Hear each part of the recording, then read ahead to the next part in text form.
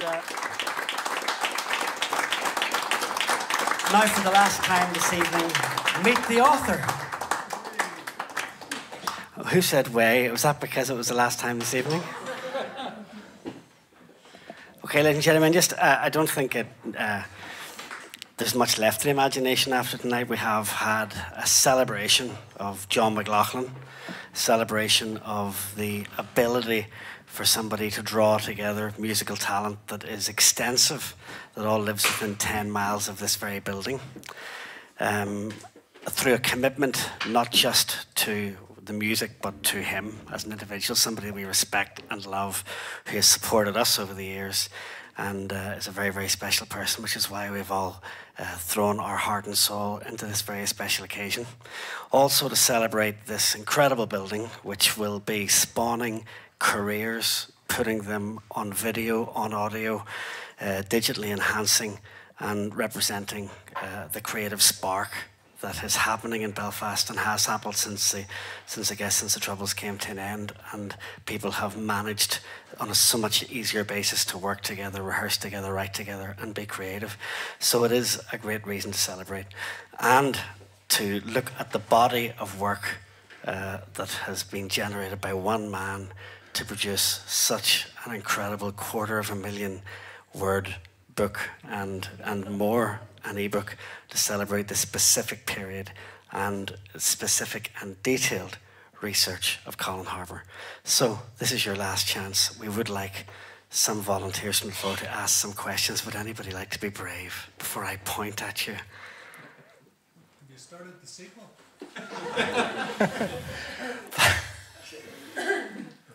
no.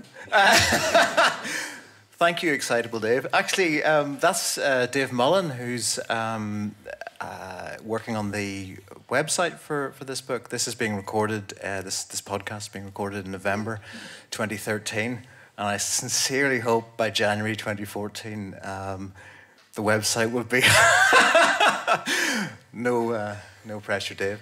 No, um, the, the, I mean, what, what Linley said there, I, I, I mean, it's very humbling and it's very flattering. And uh, all I can say is I, I actually can't. Uh, I mean, if you if you're listening to that music, and uh, it's absolutely mind blowing, uh, the the performance level of the people involved, all of them, Ali, Scott, Sean, Linley, Pat, and everybody who's played before. And um, you know, I know there's people who have a feel for my bank balance, and they kind of think, how, how can he be affording that? And actually, the truth is, I can't. I, I, you know, because there's virtually no money involved in this. So all these incredible guys, world class talents, world class talents like Linley Hamilton and Pat Gribben and so on, uh, Tina McSherry, Ronnie Greer, uh, Triona, everybody uh, is um, really incredibly generous with their time. And uh, John McLaughlin was very generous in, in saying, you know, you go ahead, Colin. Um, and I, I, you know, I, it's one of those ones I'm not actually sure whether I should send him a book because, you know, he, he, he was so polite but firmly disinterested that, I, you know, if he gets a book in the post, will he go, oh, for God's sake, you know? Or will, or will he think, oh, that's nice. Um, where was I with that chord? You know, um, but anyway, these are all interesting questions, but I think the big question is yet to be asked. The big question is yet to be asked, which is,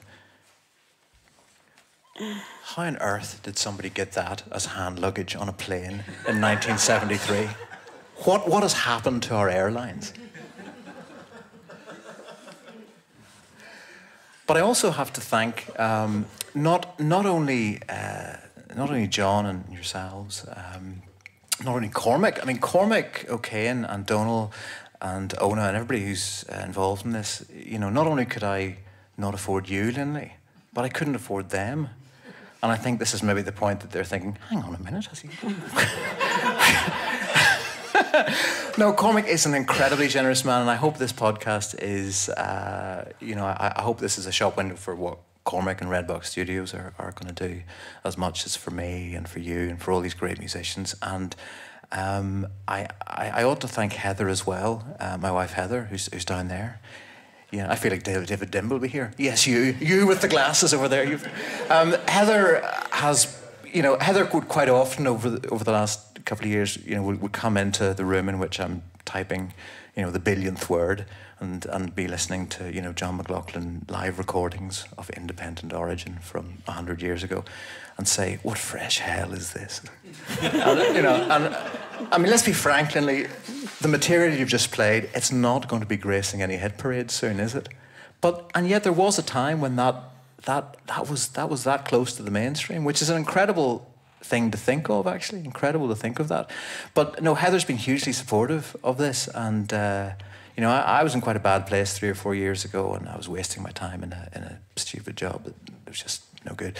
And, and after a while, you realize I should be writing, but I should be doing something that I can do. I should be contributing something to the world. I should be doing something that I'm good at. I should be doing something that will actually sit on a shelf for 50 years, you know, even if it ends up being a shelf in a, a faux retro bar in Leitrim. At least it exists.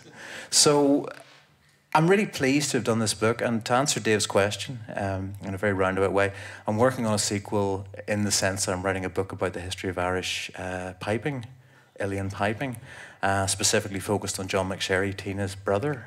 So at the moment, I'm up to about 1740, which I think I think is uh, I think is one of John McLaughlin's favourite time signatures. yeah, yeah, I think you're right. Do we have any more questions from the floor? Kyle Leach. Oh. What's that? I a book. What's a quarter of a million words? It's actually highly intelligent as far as I know. Yeah, I've actually no idea because I haven't seen it. I, I, I really don't know. I, I, I um, you know, I, I was involved in the graphic design uh, with a friend called Mark Case. Um, who's done the, the cover of the book and the photo section and so on. I was involved in the graphic design. I must say, when I was looking at the cover, you know, the cover looks great and the back cover and the spine, and thinking, I'm thinking, how does he know how thick the spine's going to be? At some point, is Mark going to get a call from the publisher saying, see that spine? Uh, put another three inches on it. I, I, don't know. I really don't know. Um, all I, uh, funny thing is, Mark Lewisohn, who's uh, just this month published a colossal first volume of his three volume Beatles biography. Tune In, uh, which goes up to 1962, which is you know before their first hit. Really, it's it's 400,000 words, you know, and he, he was contracted for 250,000 words. So he um, you know he obviously uh, had an interesting chat with his publisher at some point.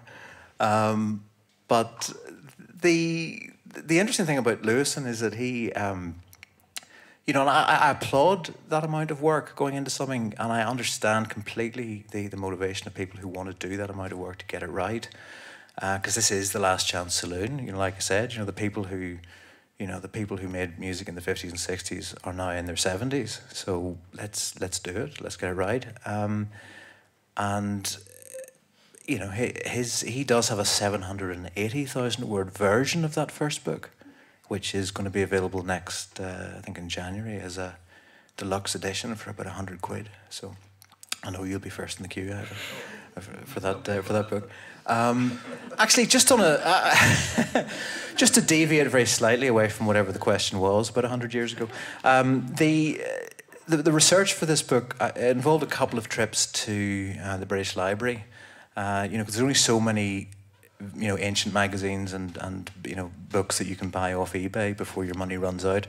And a trip to the British Library will at least get you complete collections of melody makers and so on for the for the era concerned. And you know you go through them and you you know line by line and you find tantalizing little references and you form chronologies and you know uh, then then you go back and interview people around those chronologies and uh, you know quite often you're telling them things they'd forgotten but. Uh, where was I going with that? Uh, oh yes, uh, yeah, most of my research was um, was done. Well, most of my interviews were done on the phone, and uh, I should say here, thank you um, specifically to whoever it was at Tesco, who invented the Tesco phone card, um, because the honestly the amount of the amount of phone call, the amount of two-hour phone calls at uh, strange times of the day to America that were involved, you know, with a recording device attached to the phone. Vir- you know, virtually the whole book was researched and written from from my living room with a with a Tesco phone card. Um, and almost the only trip out I made was to Dave Kane's cycle shop in Ballyhackamore. Because the man, now at this point I'm going to leave the microphone and go down to the bag of goodies. Bear with me.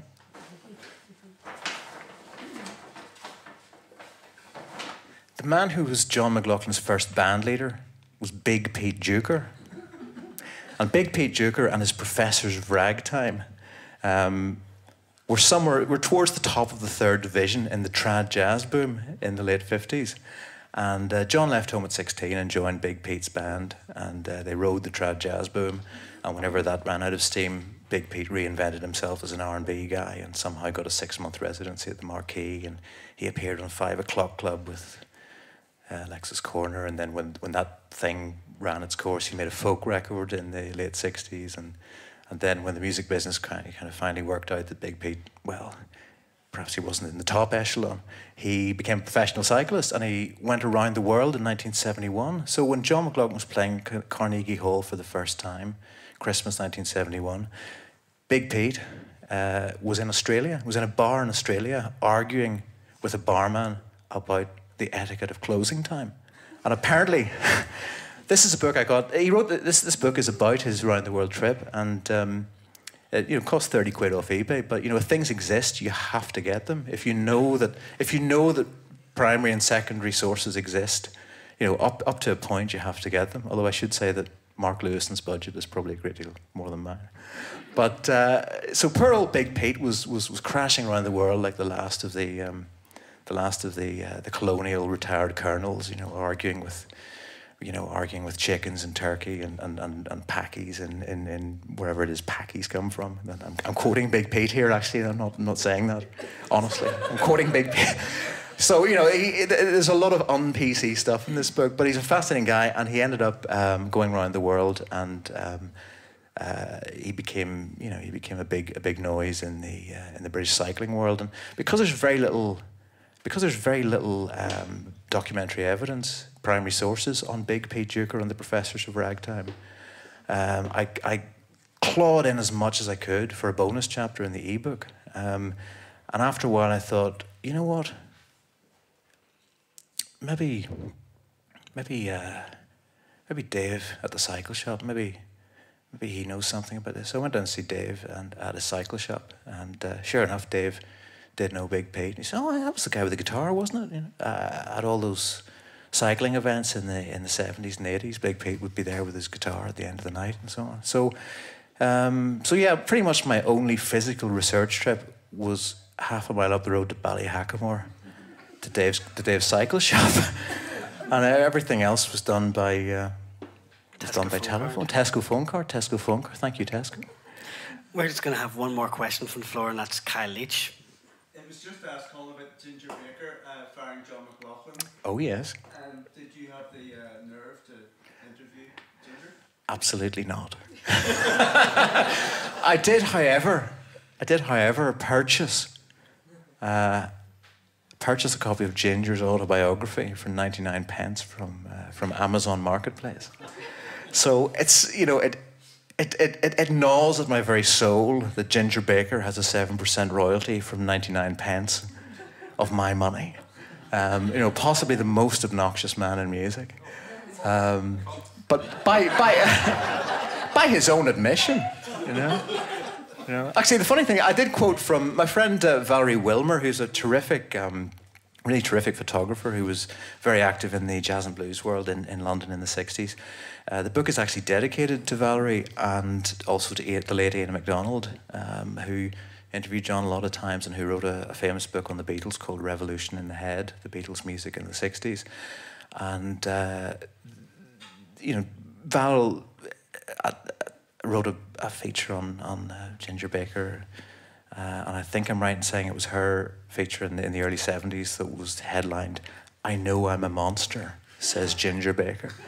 Um, I may be getting that wrong. That might have been a Chris Welch feature, but but even even then, I don't think I don't think Ginger was making too many friends in the music world. But uh, but no, I, the thing about dedicating books to people, uh, Valerie and the late Ian MacDonald, I think it's important to recognise the giants upon whose shoulders one stands. And uh, you know, really, there was a handful of people in that era who documented um, what was going on at the very edge of of interesting music in the in the '60s in London. And uh, really, this book, in a way, it's like it's like the usual camera angle on London in the '60s is, is pointed that way, But actually, if you just pan the camera around that way, there's all kinds of interesting stuff happening at the edges. And uh, very few people were documenting that stuff. Um, and sometimes they weren't. Sometimes, you know, it's up to me to, to find Trevor Watts or Howard Riley or Mick Eve or, or whoever, Brian Auger, whoever from that era who was doing interesting music that never quite got recorded or uh, never quite made the headlines, but was really profoundly interesting. So it's it's swinging London with the camera panning that way through the prism of John McLaughlin. He's the he's the central character. Was that a metaphor too far? well, uh, anyway, I, I, I, feel that I'm rambling, uh, Linley. So, well, at this stage, then, in that case, I will draw this part of the evening to the close, which is the part where we have had the chance to question the author on a book, which is substantially going to enhance the historical uh, pedagogue, I guess, of jazz history, the history of John McLaughlin, and the fact the fact that that comes from someone who lives so close to us and is such a colleague and such a friend. It's a humbling experience. A round of applause, please, for this genius.